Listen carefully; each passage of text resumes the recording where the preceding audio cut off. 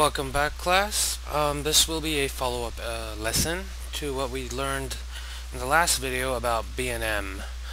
Now with this one, this is an example of what a B&M roller coaster, either a sit-down, a floorless, and possibly a stand-up. Most of those typical B&M coasters pretty much have the same ride layouts, the way um, the way they uh, entertain guests are so similar. Uh, the ride layout is very similar compared to all floorless sit-downs and um, even possibly stand-ups. Stand-ups possibly have maybe one thing that they, I'm not sure, well, I don't know, maybe they can do all of this. It doesn't matter, it, I really don't think it matters at all, especially that first version I will show you about this park, or this, not park, but this particular ride. But of course, other um, B&M coasters such as fly, flying roller coasters, winged coasters, um, even inverted coasters do have their um, their own set of elements and um, uh, overall basic ride layout. So with this one, I have set up an example of how B&M does their roller coasters. Uh, first off, we're going to go ahead and start off with a basic station. This doesn't also this also doesn't relate to B&M, but also every other typical uh, roller coaster in every and any theme park. First off, we're going to go ahead and start with the station. Um, this one is rather aired out. There's not a, it's not that indoors. It's got its basic roof. Um, you know, they're really, I don't really know. I guess it's just uh, when they make it this uh, simple, it's the cheapest way to go compared to like other um, other roller coasters, of course, like Disney. Of course, most of their stuff is indoors and highly themed. With this one, I'm just going for a basic look. Um, of course, you have the control box area where they all go into, or the ride operators go in. Um, of course, in regular scenery for roller coaster scenery for roller coaster tycoon 3 there isn't any uh, uh, control panels unless I put let's see maybe this or is it like that but that only works if there's a uh, what's it called? A wall path a walkway path so I'm not even gonna bother just use your imaginations that if there's something in there. Um Something rather small and almost uh, insignificant, however, it does add to the realism, is this lower area of the uh, station. Usually this is best where people are, this is like a storage area for separate parts for a coaster, also for maintenance crew, possibly either during a breakdown or at the end of the day they go down here, they'll be able to check under the coaster to see if there's any problems. Of course, the catwalk here would be a lot higher. Of course, RCT3 does not allow me to make it any closer to the coaster. This is as close to the coaster as, as it could get. So, of course, uh, I couldn't get that close. But, uh, that's about it for the station. Um, let's see here. The back of the station, of course, is the storage shed for the coasters. Usually any and all coasters usually run about three coasters at a time, depending on how busy the um, either depending how busy the park is or how cheap the labor is for each park. Uh, usually they do if a, a ride starts off in the beginning, like its first few years, they run all three trains. And of course, as the popularity of the coaster wanes, we got new rides.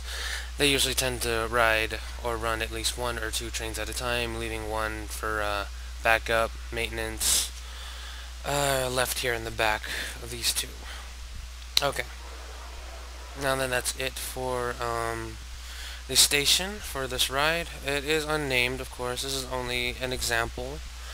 Um, so we're not going to have any particular name for this coaster. Uh, this little element here, which I find intriguing, it was... I got this from Hydra the Revenge, located in um, Kingdoms Oh shoot. Uh,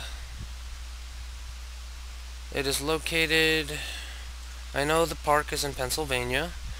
Uh, it is located at Dorney Park in Wild Water Kingdom.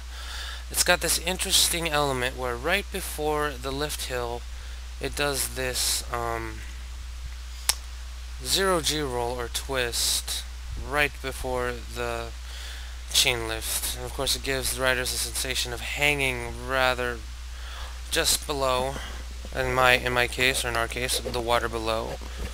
So it gives that feeling that you're about to fall off the ride, even just before you even start on the lift hill. So I kind of find that rather interesting for the coaster in uh, Dorney Park.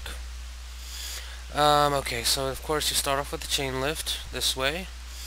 Uh, typically with roller coasters like this, especially with B&Ms, unless it is a hypercoaster, uh, the height usually uh, goes, the height limit for something like this is usually just about 150 feet. Uh, with a roller coaster that doesn't have to deal with um, like airtime, large drops, um, the minimum height for a roller coaster that has plenty of these elements is at least about 150. Um, yeah, that's about it. Unless you want, of course, want to make it a hyper coaster, which delves much more into the airtime and the camel humps. Uh, feel free to make it a lot bigger.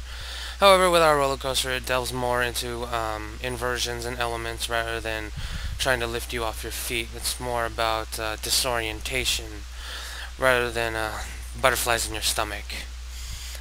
Um, I mean, if you have noticed that most drops on B&Ms, they have this rather weird hump followed by a flat portion and then the drop. I honestly don't know what the point is for that or for that reason or this element here, but I have noticed that mostly some, if not all, B&Ms have this sort of uh, hump and then straight away before the drop. Uh, I guess it's just something that they have to do. I, I haven't even figured it out yet. So if you are trying to make a B&M as realistic as possible, it's usually best to add this uh, significant shape to the drop. Uh, next off, uh, it was rather difficult to do this in RCT3 to try and curve it. Um, yeah, try to make a curved drop because the majority of um, roller coasters do have that curved drop. Now I know some don't, of course, like Apollo's Chariot that goes straight down. Of course, some Medusas. I mean, there are clones of Medusas, and personally, ours at Six Flags Magic Mountain. Sure, we call it Scream, but that's just it's just another clone of Medusa. I don't know why Six Flags does that. Maybe to save money. I'm not so sure, but I guess if you don't, if you can't go on a Medusa on the East Coast, you can go on our Scream here on the West Coast. But, um, yeah, typically most uh, drops on a B&M, you really don't get the butterflies in your stomach feeling because of the way it curves uh, during the drop. So, I tried to make it curve here. Uh, didn't work out so well because of the limitations of RCT3. However, that's the best I can do for this particular uh, software, game, whatever. Okay, so now we go ahead and go into our first element, a vertical loop. Course, we've already explained this one before. Uh, it is, something is threading it right in the middle. Uh, mostly, or usually for roller coasters like this, try it's good to try to make the roller coaster almost look tangled as much as possible. I mean, when you're right here, like you're perspective is right here and you're trying to follow the uh, the path of the coaster chances are if it's really this tangled you're not going to follow it well. It leaves more to it leaves the guest surprised more. It leaves it a mystery. If you keep it like with the inversions like this if you keep it so tidy and neat um, kind of like a uh, what's it like a, a hypercoaster where you know where it's going and it's like a, back and out coaster where it goes up, down, up, down, up, down, makes a turn, up, down, up, down, up, down. The only thing that does scare them is the drop, everything else is just whatever. But with this one, seeing as if you're looking at it at this angle, you're trying to figure out where that coaster is going to go. If that, if the ride does look really tangled, kind of how it is right now, it does give the guests a little bit more of a surprise when they actually go on it. So it's also a nice tip there. I mean, come on, also, it looks pretty cool when it's threading the loop like that. So, there's another tidbit for you guys there. Okay, another element that we should be familiar with is, of course, a Cobra roll. Now, let's see a little bit more about the Cobra roll. If you're going to make one, there are large ones, just like on the Hulk, and there are small ones. Uh, the only, let's see, I'm not sure if the one in Scream is a large uh, Cobra roll, but we'll just give, oh, excuse me, we'll just use the Hulk as a perfect example. Uh, with a Cobra roll, try to make it so that it is the half loop here tapers inward. There, let me go ahead and show you an example real quick. It shouldn't take me that long. Okay. So, when building the Cobra roll,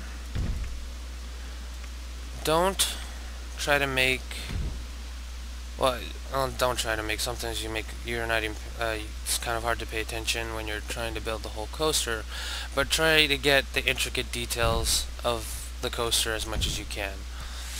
Now, looking at this one, you'll notice that this Cobra roll has a slender look to it. However, with this Cobra roll, um, in my personal opinion, I have not seen Cobra rolls like this, where it looks like it's got a wide girth to it. Um, I guess from in my personal opinion, this one does look a lot more sleeker, slender, and it does make the coaster look, I don't know, in my personal opinion, overall more sleek looking compared to something that looks so wide in girth like this. And it's just a typical aesthetic. Also, another uh, common mistake would be to make it look slanted like this. Now that one, that to me that's just it's kind of twerking my OCD a bit. So it uh, maybe there are some Cobra rolls out there that have this sort of a slanted look to them. But if you are going to make a Cobra roll just be sure to make it at least look uh, symmetrical. But I guess you know if you want to go for this one I mean there are no limits to this. But you know these are just my opinion or opinions and advice. And you can deal with it for whatever you guys want to do Okay, so after the Cobra roll, let me go ahead and push play. Let's go ahead and see the coaster go through this while we're watching this. The Cobra roll, here they go, go through the loop. Have them go right through the Cobra roll. Nice and smooth. And then finally, we have not really touched upon this sort of uh, element before. Now I know it does look like a, a dive loop to an Immelmann loop, However, this significant um, element to a coaster, uh, I think there's only one, at least I, I, can think of, that does have this sort of element. Um, unless it is a, uh, a Vekoma inverted coaster. I mean, B&M makes their own inverted coasters, and of course, Vekoma makes their own inverted coasters, which are a pain to ride. but uh, let's see, a little more information about this element, which we did not cover. This is called a serpent's roll. Now it is somewhat similar to a cobra roll. It's as if um, if a cobra roll were a spring, all you'd have to do is just invert this loop as if it were going this way and not a U-turn sort of thing. And I guess that's a uh, best description of a serpent's roll I can think of. Um, in Roller Coaster Tycoon 3, how to make a serpent's roll is right here. This would be a dive loop to a 90 degree turn, to a corkscrew, to another corkscrew, and finally to another 90 degree loop, or dive loop here. Um, let's see. After that serpent's roll, we're going to go ahead and go to a zero G roll, followed by a bank turn, and finally, an essential to all roller coasters is a brake run. Now usually a brake run is there just in case a coaster decides to not make a loop all the way around or there's sort a uh, certain emergency that the coaster needs to stop midway through. Um, I kind of made a mistake here that I had to build it in the middle of a lake because of course usually there are um, catwalks here followed by um, you know I guess we can do that right now. Let's go ahead and make a catwalk. But it is a little bit of a mistake to build it in the middle of a of a lake here. okay, I seem to have lost the catwalk.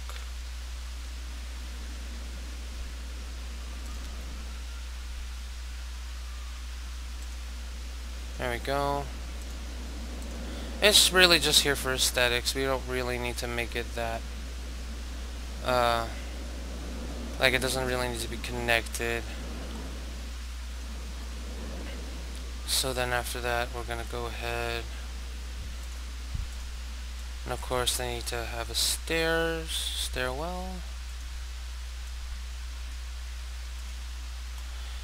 I mean, unfortunately, it does look a little uh, it is obstructing the view. Hopefully, if I make it enough um, floors, most of these pillars will be out of the way and look a little bit better.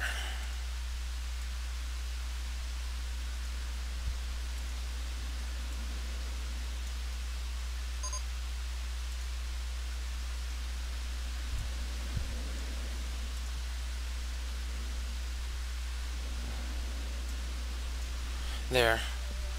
Just for like, you know, purposes, or uh, realistic purposes. Just go ahead and make a catwalk there in case there's some emergency exit we need to do at the top there. Okay, so after the brake run, of course, you have your typical loop, followed by another bank turn, a nice little element here where you go ahead and do two more corkscrews, one above the lake to give a nice, possibly a postcard shot here. One more final corkscrew, then through the straightaway onto the brakes, and back into the station.